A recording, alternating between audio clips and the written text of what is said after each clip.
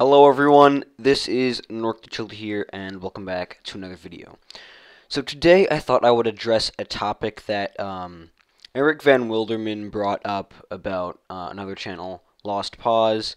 That's also been on my mind a little bit, uh, and this is about how YouTube is sort of um, flagging a bunch of videos, putting strikes on a bunch of people's channels for things that they deem as inappropriate content and how, you know, it isn't always the fairest thing.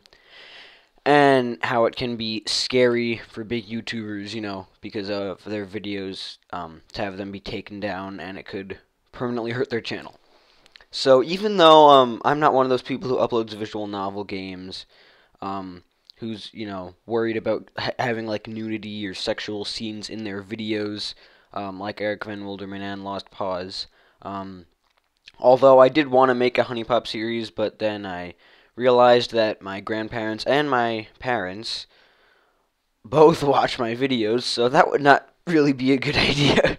um, but that that's beside the point. The point is that um, even though I can't really relate to that that aspect of the you know sexuality of videos and you know the the censorship and how YouTube uh, may flag video. Uh, Eric Van Wilderman also did talk about um, the fact about the um, music strikes on his Geometry Dash videos. And I'm sort of facing a similar problem. Uh, I don't monetize my videos yet. I probably will start very soon. But um, I'm sort of having the same problem with Geometry Dash. And the songs in the videos for Geometry Dash. I've been getting a bunch of emails because um, networks that have partnered with the music creators um, only recently I've been getting a bunch of emails saying that um, a copyright claim was made on your video. Um, the song claimed by, and I think the most common uh, social network is Dream Crusher Media. And that has a bunch of like DJ VI songs and DJ Street and songs and stuff like that from Geometry Dash. And even though I'm not monetizing, so it's a bit less of a risk for me, it is kind of scary as a YouTuber. I'm not as big of a YouTuber as Eric Van Wilderman or Lost Pause. I only have 15,000, uh, almost, almost 16,000, uh, almost, sort of, almost 16,000 subscribers. So I'm not that big and I don't make money yet. So there is less of a risk for me, but I can really, I really feel empathy and I really understand the feelings that are coming from these bigger YouTubers because some of them, this is their job. Some of them, they're just doing it for a hobby. But the people whose sole job it is, and how if they can make one mistake and YouTube is hasty in their, um, in their, uh, strike or in their flag, it can make the YouTuber basically lose their job. They'll lose all, they'll lose it all. Their channel will be terminated in the most extreme case and they'll lose it all. And that can be so scary knowing that, you know, um, I messed up. I made one video that could um, have sexual content that used a song that, you know, um, was claimed and I got a strike and you can just lose your whole job and that really is scary and for people like me I don't know if I'm going to pursue YouTube as a job when I'm older but if I did that would just really be a big fear to me and even if you know you abide by the the terms of service pretty pretty strictly you can still have one mistake and YouTube will just snatch you there.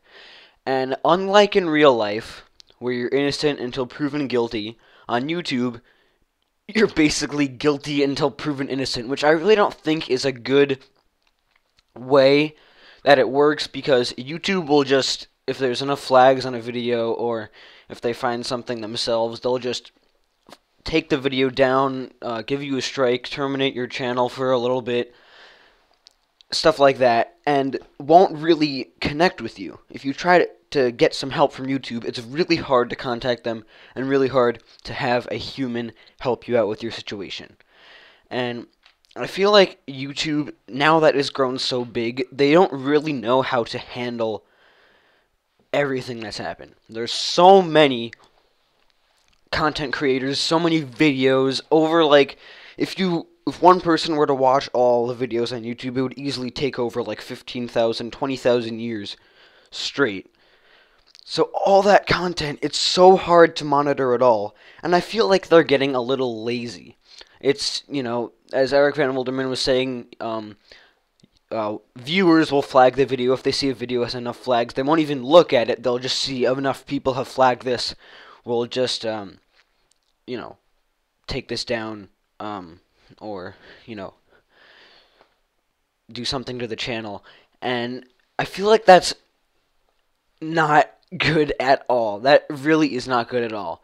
It's definitely um it's definitely a common thing among big corporations that they tend to get a little more lazy and they tend to, you know, um, freak out when so many people are using their product or um, on their platform. And I feel like this is like a message to YouTube. I feel like YouTube needs to have more people in the field of, you know, copyright strikes and uh, content and how. Um, you know, not enough sexual, not, not what am I trying to say? Uh, not, um, there shouldn't be a lot of sexual content, um, and I feel like there should be more people in that field of investigating these videos and making sure that, um, you know, it, isn't just taken down if there are enough flags in the video. For all, for all I know, I could make 10, 20 different accounts and flag a perfectly good video just because I don't like the YouTuber, they'll have done nothing wrong. But if they see enough flags on a video, they may like just not investigate it and just take it down. There's nothing wrong with it. So I feel like that system is also sort of flawed. But YouTube should really put a lot more effort into the way they monitor everything that's going on. It'll definitely be a better community if that happens because another thing, it may also affect YouTube. Their laziness will come back to haunt them. Because if they take down a channel that hundreds of thousands of people love or millions of people love because of one little mistake, that's impacting all those people's lives.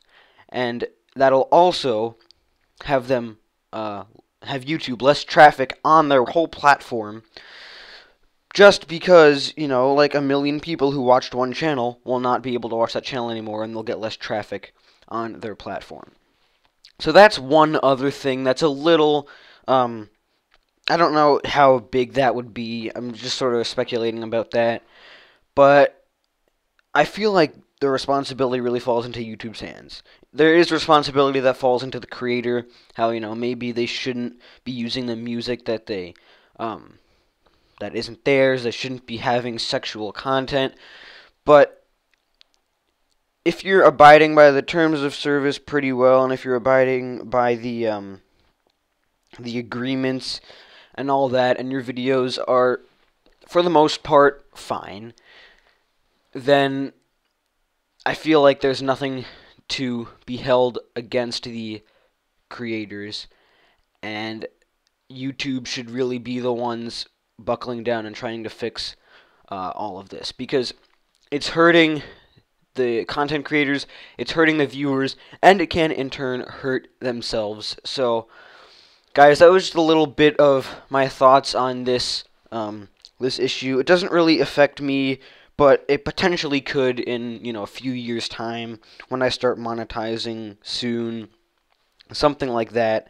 Um, and it definitely um, is going to uh, affect big channels with these problems, and I feel like it should be addressed very soon before YouTube can crumble in front of our very eyes.